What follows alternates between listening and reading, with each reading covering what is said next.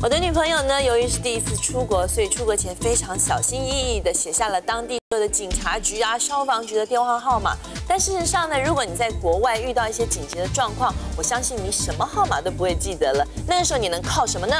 就是靠你的一张嘴了。其实那个时候，如果你是被人打劫，你可能会大叫 “Call the police, please”，请帮我叫警察。如果你受伤了或者是生病了，你可能需要一个医生，你可以说 “Call a doctor, please”，请帮我找个医生。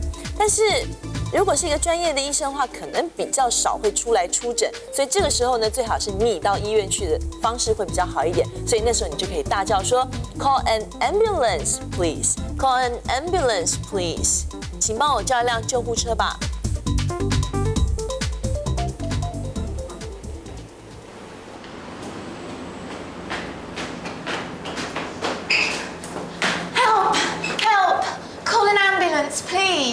What's wrong? What's wrong? What's happened to you? It's Johnny. You have to hurry. He's been knocked down by a car.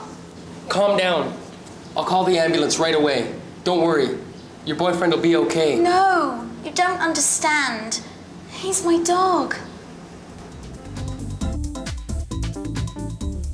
我想呢，可能有的时候人一时情急之下，到底该叫消防车还是救护车，都会搞不清楚。记住了，人如果生病了的话，是要叫救护车，也就是 call an ambulance。如果你们是家里失火啦，或者是小猫小狗卡在树上，家里出现大黄蜂、大蟒蛇的话，这时候就要找消防队，就是要 call a fire engine。还记得很多年以前呢，我到美国去的时候，自己闹了一个很大的笑话，因为我看到路上有这个救护车。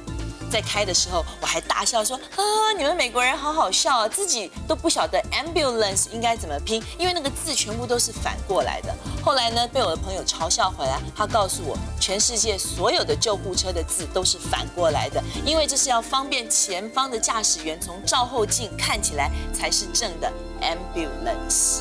Got it?